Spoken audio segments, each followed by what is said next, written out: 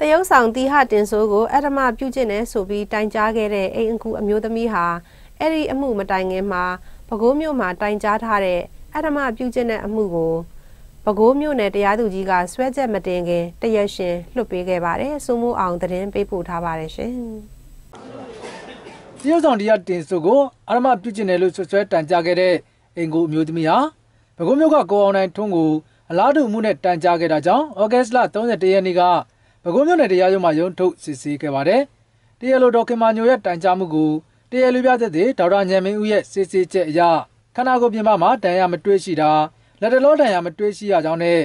တရားလိုကိုစစ်ဆေးတဲ့အခါခန္ဓာကိုယ်အတွင်းသို့ပိုးလည်းမတွေ့ရှိရဘူးလို့တရားရုံးမှာ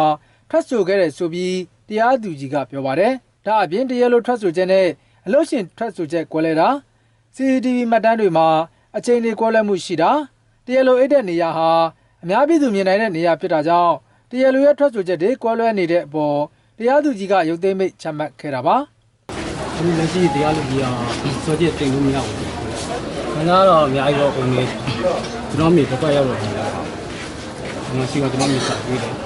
ကျွန်တော်ထောင်ရောက်ကျွန်တော်မြေသူများကနေနေရစိတ်မကောင်းဘူး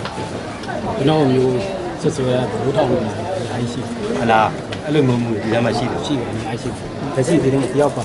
ရန်ကြောင်မြို့နယ်တတေကုန်းကျေးရွာမှာနေထိုင်တဲ့ဦးဝင်းမော်ရဲ့တမီးဖြစ်သူဒေါခင်မာညူဟာပဲခူးမြို့ပန်းလိုက်21လမ်းမှာရှိတဲ့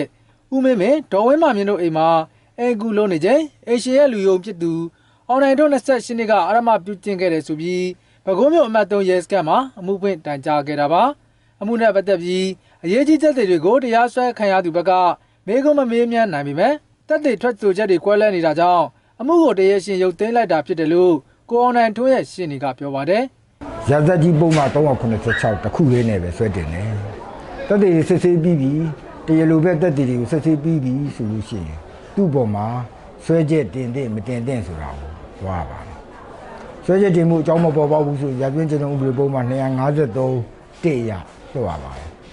ဆွဲချက်တင်မဲ့အချက်လက်တွေပေါ်ပေါက်နေလို့ရှိရင်ဆွဲချက်တင်ပြီးတရားခံဆက်စစ်သူခံပြတက်တွေဆက်ရပါတယ်အခုတော့တရားလိုပဲတက်တွေများရဲ့ ထွက်ဆိုချက်အရာကူပါဆွဲချက်တင်နိုင်လောက်တဲ့အထောက်ထားမရှိဘူးလို့တရားဥပဒေအကျယ်တွင်းသုံးသပ်ပြီးလွှတ်လိုက်တာဖြစ်ပါတယ်အသက်40အရွယ်ရှိတဲ့အင်ကူဒေါခင်မာညူဟာအခုနှစ်ဖေဖော်ဝါရီလမှာစတင်အလုပ်လုပ်ခဲ့တာဖြစ်ပြီးအချင်းတွေခီးသွားနေချိန်ပြီးခဲ့တဲ့မလတရက်နေ့ကအရှင်ပိုင်နဲ့ဥဒ္ဒါမျိုးသစ်ရှီယောက်ကမှရှိတဲ့တကြားကူတော်မှာကွန်နိုင်တုံးကတာမယာပြုကျင့်ခဲ့တယ်လို့တိုင်ကြားခဲ့တာပါသူဟာရန်ကုန်မြို့မှာနေထိုင်တဲ့တရုတ်ဆောင်တရားတင်စုကိုအရမပြုကျင့်တယ်ဆိုပြီးတိုင်ကြားမှုမှာ ဒေါခင်မာမြင့်အမည်နဲ့တိုင်ကြားခဲ့တာဖြစ်ပေမဲ့ပဲခူးမြို့မှာဖွင့်တဲ့အမှုမှာတော့ဒေါခင်မာညိုအမည်နဲ့မှုဖွင့်ခဲ့တာပါကျွန်တော်ကဇူမူအောင်ပါ